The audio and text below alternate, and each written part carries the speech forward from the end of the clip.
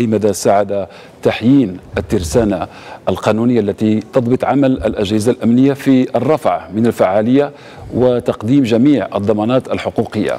وبالإمكان مثلا أن نستدل أستاذ علي بالقانون 27 14 الخاص بالاتجار بالبشر.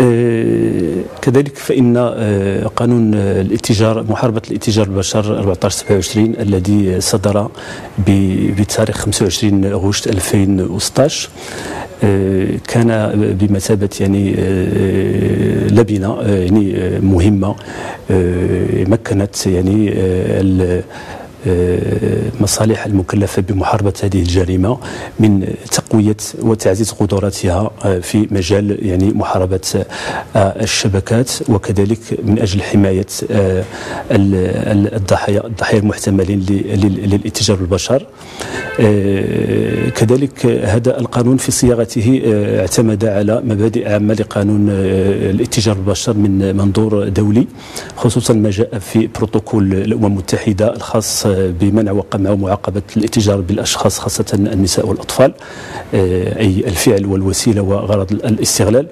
وفي هذا الإطار فإن آه، يعني آه، الدورات التكوينية والتكوين المستمر والورشات التي يشارك فيها ضباط الشرطة القضائية المكلفون بالبحث في هذه القضايا فهي تأخذ بعين الاعتبار مقاربة حقوقية في التعامل مع يعني الضحايا.